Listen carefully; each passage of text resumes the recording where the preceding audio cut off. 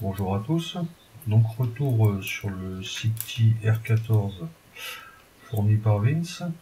Alors deux vidéos pour, euh, pour voir la variabilité des réactions de ce cylindre. Donc là je teste les goupilles du haut.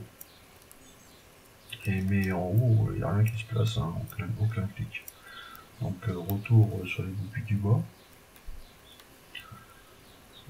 certaines sont un peu plus dures, donc on appuie dessus doucement qu'on entende un petit clic ou qu'on ait un petit déplacement, hein, c'est assez discret. Bon, faut dire que là, je l'ai bourré de WD-40 hein, pour essayer de, rendre les goupilles du haut euh, actives. Hein. Mais du coup, ça me donne des réactions beaucoup plus discrètes que d'habitude. Donc ça cliquette, il y a des goupilles qui remontent, on revient dessus, euh, on cherche toujours celle qui est la plus dure, comme d'habitude.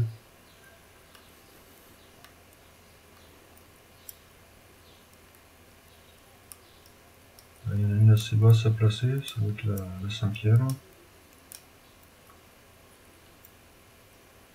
Voilà. Là j'ai un bon décalage, et alors j'ai la sixième goupille qui est carrément collée au plafond, et impossible de la, de la descendre. Hein.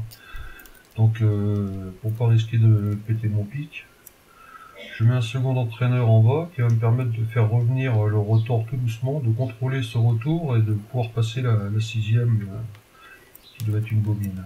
Voilà, donc je reviens doucement, j'appuie.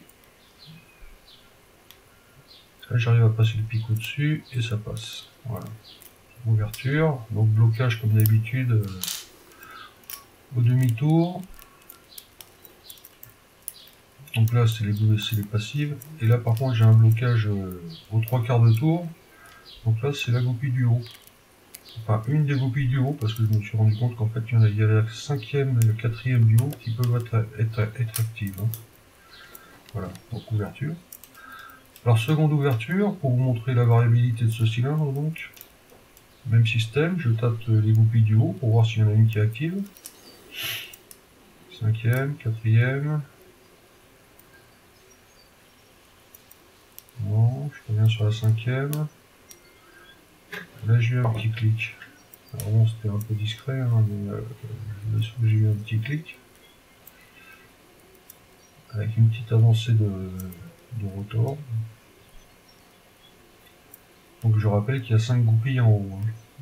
Mais d'après mes observations, seule la quatrième et la cinquième sont, sont actifs par moment. Voilà. Donc là, même système que tout à l'heure. Hein, euh, j'ai commencé par les goupilles près de l'entrée, qui étaient les plus dures. Et puis je reviens doucement à chaque fois qu'il y en a une qui est un peu plus dure que les autres. Euh.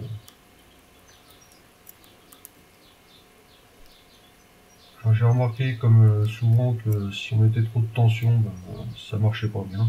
Donc il faut savoir relâcher de temps en temps hein, si on sent plus grand chose.